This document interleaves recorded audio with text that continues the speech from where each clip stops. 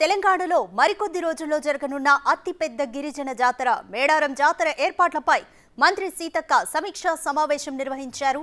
ఈ రివ్యూకు ఎంపీ కవితతో పాటు ములుగు జిల్లా కలెక్టర్ ఇలా త్రిపాఠి అడిషనల్ కలెక్టర్ శ్రీజ పలు శాఖల అధికారులు హాజరయ్యారు. జాతర ఏర్పాట్లు త్వరితగతిన పూర్తి చేయాలని మంత్రి సీతక్క ఆదేశించారు. జాతర కోసం డెబ్బై ఐదు కోట్లు ప్రభుత్వం కేటాయించిందన్నారు. గత జాతరలో ఇబ్బందుల దృష్ట్యా కట్టుదిట్టమైన ఏర్పాట్లు చేయాలని సూచించారు మంత్రి సీతక్క. అన్నా అన్న అన్నలు అందరూ ముందుకు రండి ముందుకు రండి. అన్నా యువకులకు అందరికి మా అన్నలకు అందరికి గాంధీ పార్క్ దగ్గరికి రండి.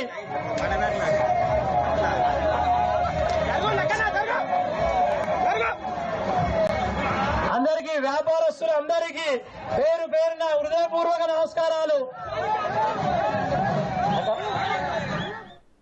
కంప్లీట్ డీటెయిల్స్ మా ప్రతినిధి వేణు అందిస్తారు. వేణు మేడారం జాతర కోసం ప్రభుత్వం డెబ్బై ఐదు కోట్ల నిధులు కేటాయించింది. దీన్ని ఏ విధంగా సద్వినియోగం చేయాలని అలాగే ఎలాంటి ఏర్పాట్లు చేయాలని సీతక్క ఆదేశించారు అధికారుల్ని?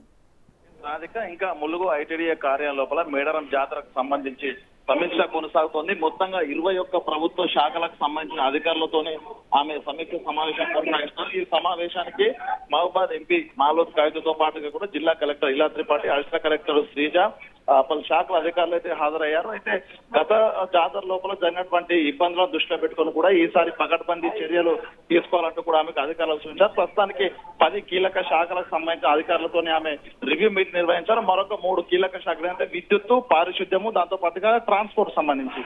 ఈ మూడు శాఖలతో కూడా కీలకంగా ఆ ఏర్పాట్లు ఏ విధంగా చేయాలి? వచ్చే భక్తులు దాదాపుగా ఈసారి కోటిన్నరకు పైగా భక్తులు వస్తారంటూ అంచనాలు వేస్తున్న నేపథ్యం లోపల ఎట్లాంటి ఏర్పాట్లు చేయాలి? దాంతో పాటుగా పార్కింగ్ మెయిన్గా పార్కింగ్తో పాటు పారిశుద్ధ ఏర్పాట్లపై కూడా ఆమె లోతుగా సమీక్ష చేసిన పరిస్థితి కనిపిస్తుంది. ఎందుకంటే గతం లోపల ఆమె ఇక్కడ ఎమ్మెల్యే ఉండి ఆ జాతరల సమయం లోపల అయిన ఇబ్బందులపై ఆమె స్వయంగా పలు ఆరోపణలు చేశారు. పారిశుద్ధ్యం విఫలమైందంటూ ఆమె స్వయంగా చెత్తను ఏరిన పరిస్థితి సో అట్లాంటి పరిస్థితులు తమ ప్రభుత్వం లోపల రావద్దంటూ కూడా ఆమె స్ట్రిక్ట్గా చర్యలు తీసుకోవాలంటూ కూడా ఆదేశాలు చేస్తుంది ఇప్పటికే డెబ్బై ఐదు కోట్లు కూడా ప్రభుత్వం కేటాయించి అందులో ప్రధానంగా అగ్నిమాపక శాఖ ఇరవై లక్షలు పంచాయతీ విభాగానికి ఏడున్నర లక్షలు గ్రామ నీటి సరఫరాకు పద్నాలుగున్నర లక్షలు నీటి పంచాయతీ రాజుకు నాలుగున్నర లక్షలు ఆర్ఎన్బికి మూడు కోట్లు మొత్తంగా డెబ్బై ఐదు కోట్లు ఈ విధంగా పలు అంటే మొత్తంగా ఇరవై ఒక్క శాఖలకు సంబంధించి డెబ్బై ఐదు కోట్లు మంజూరయ్యాయి. అయితే మరోసారి రివ్యూ చేసిన తర్వాత. కూడా మరిన్ని కీలక శాఖలకు ఇంకా నిధులు అవసరం నేపథ్యం లోపల మరొక యాభై కోట్లకు ప్రభుత్వానికి ప్రతిపాదనలు పంపుతాము. మరో వారం లోపలనే ఆ నిధులు కూడా విడుదల చేస్తామంటూ చెప్తున్నారు. మొత్తంగా ఈ రివ్యూ పూర్తయిన తర్వాత